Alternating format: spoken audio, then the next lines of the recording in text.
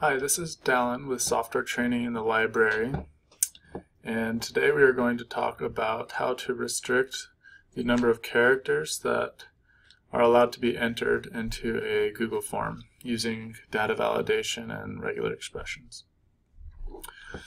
So, like this form shows right here, um, if you enter in your name and if you start typing in like an ID number that is under nine characters, it won't do it. But as soon as you type the ninth, it will allow you to do it. And if you type 10, it won't allow you to do it. This is extremely useful for the concept of garbage in, garbage out. If, if you're allowing people to input uh, data into your spreadsheet and if they mistype uh, their ID number or if they put too many characters in, lots of the formulas that you put in your spreadsheet won't work. And so being able to limit the amount of characters takes away one of the errors, adding extra digits or not putting enough digits in there. So we're going to learn how to do that. So if you go to Google Forms and open up a blank form and title the form general information. First question, we'll make it a short answer. We'll say your name and if you duplicate it we can make another short answer text question, and this will be uh, what is your student ID number?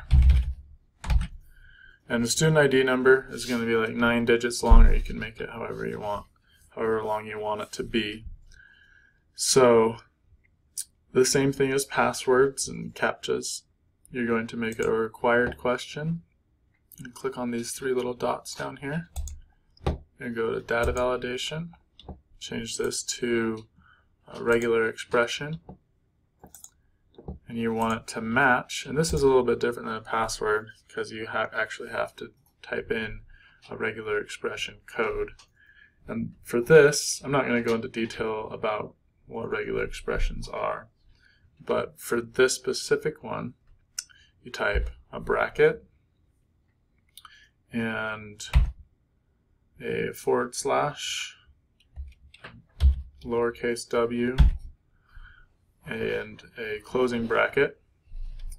And then you put a brace with the number of digits that you want to uh, limit the entry to inside of those braces.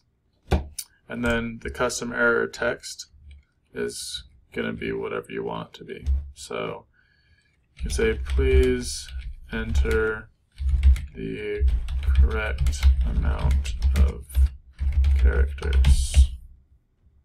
And you could even say um, in parentheses the number of characters you need, which is 9.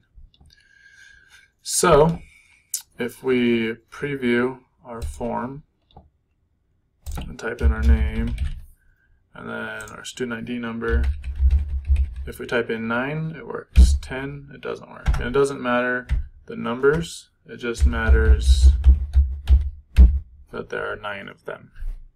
So that is regular expressions and limiting the amount of characters you can input into a Google form. Hope you liked it. Stay tuned for other videos.